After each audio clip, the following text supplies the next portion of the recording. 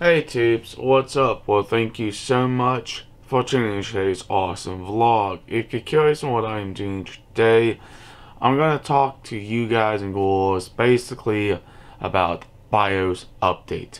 Be very careful when you do a BIOS update on any of your machines, laptops, desktops, any computer.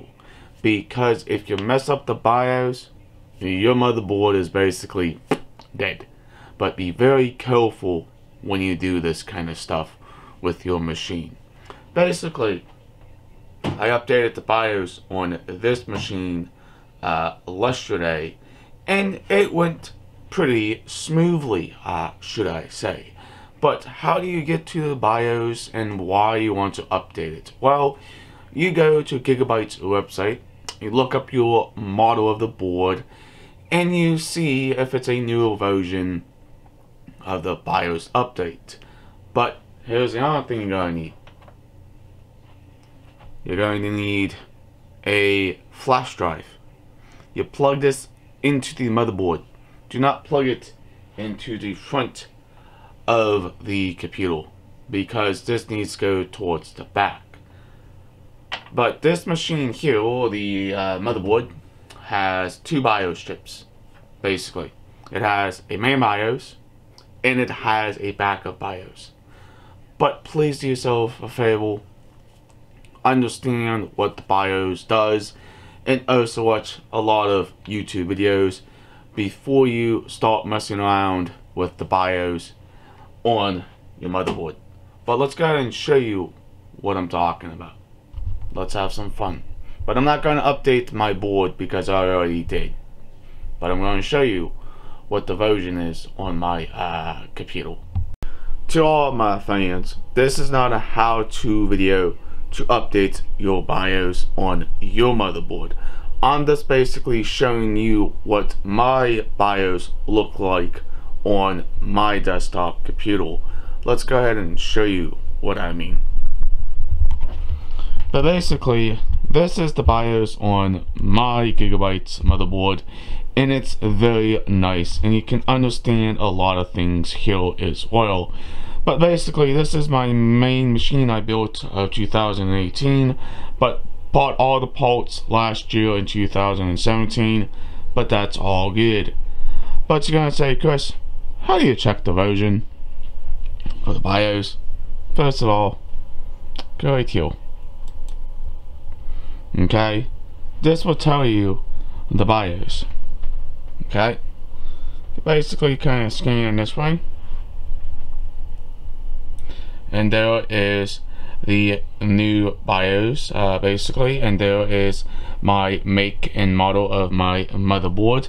But basically we got all sorts of interesting settings and stuff you can change as well. But basically it's another trick you can also go.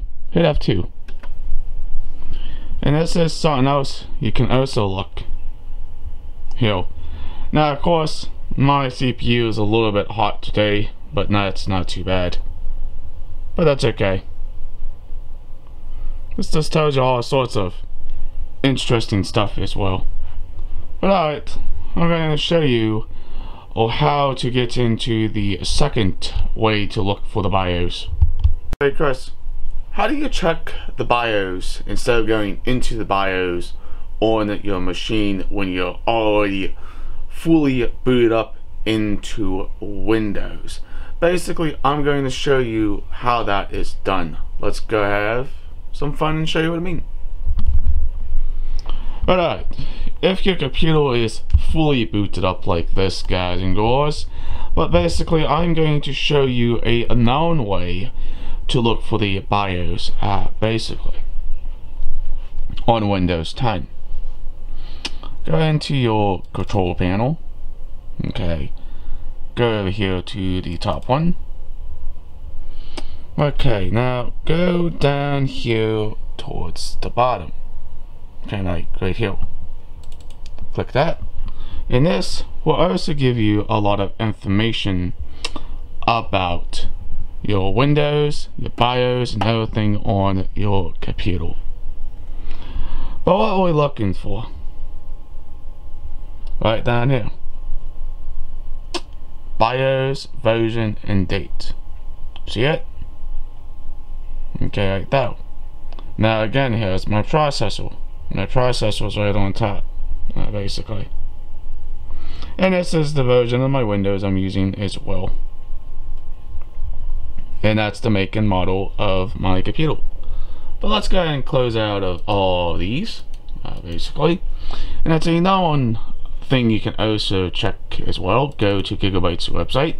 Go to the internet, uh, basically. And you choose what operating system you look for. Okay. Scroll down. Go to BIOS. Okay. These are the different versions of BIOS you can also use. But the one I'm using is right there. There you go. Basically, for everybody who don't quite understand tech and computers and basically motherboards, you're gonna say, Chris, how can you update the BIOS? You just have to do it on your own. I'm not gonna show you how to do it because if you mess up the board, that's not gonna be on me. That'll be on you. Not being rude, just saying, but even if I do the BIOS update on this machine, whose fault would it be? None of you guys' fault. Be my fault because I messed up my uh, board. But luckily, this Gigabyte board has two BIOS chips, a main and a backup one.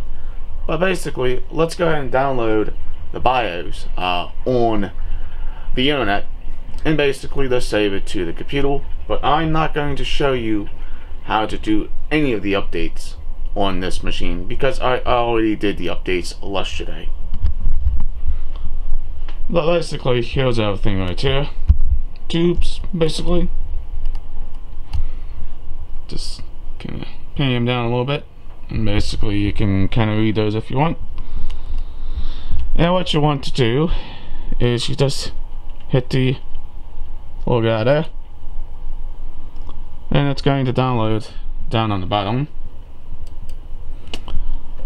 and we're not going to worry too much about what's in here go back to your computer and you go into your download now remember it's in a zip file the only thing you gotta do is make sure you uh, distract it all this is your BIOS update right here now make sure the flash drive is also installed. But still a nice way to update it, but not going to show you how to do that. Now if you want to update your BIOS on your computer, you can look it up on Google. You can also look it up on YouTube to see what own types of videos they have for they can help you to update your BIOS. But basically, the reason why I updated my BIOS yesterday, because it was a newer version of the BIOS for this motherboard. Now, I know some of you are going to say, Chris, you should have done the BIOS update and showed us how to update the BIOS on this board. Now, let me just explain. Every motherboard out there today is all different okay because I don't know about all those motherboards how the actual updates with the BIOS but this gigabyte uh, board it's very simple to update the BIOS on it but basically most uh, motherboards may have a different way to update the BIOS on the computer's motherboard itself but remember not most computers have two BIOS chips. Most motherboards only have one. This one over here has two. It has the main and it also has a backup one. But just do yourself again a favor. Please understand it and please be careful when you decide to do the update of the BIOS on your machine. I don't want you all coming back to me. It's like, Chris, my board doesn't work and stuff like that. It's like, it's not posting, it's not doing this, it's not doing that. Well, sadly, you might have to send it back to the actual company or buy a whole new board. But uh, alright, guys and girls are supporting this channel, please hit that subscribe button. Leave a awesome comment down below. Please like, please share. Peace out. Well, please see you in the future vlog. And have a nice day. Catch you later.